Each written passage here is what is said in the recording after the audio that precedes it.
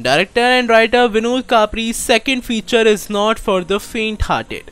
Well, during the course of 93 minutes, audiences have to see a two-year-old girl land in one dangerous situation after another and hope that she comes out in unharmed. That's the plot of Pihu that is inspired by a true story.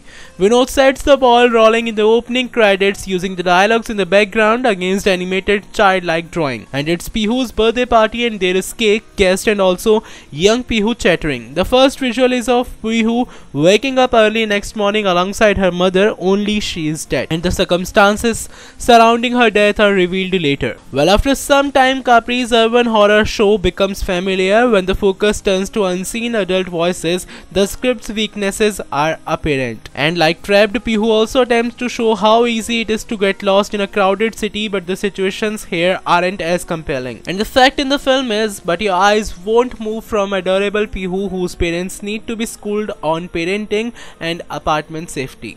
Film is getting the good response and many said it's a must watch movie. For more updates stay tuned and don't forget to subscribe.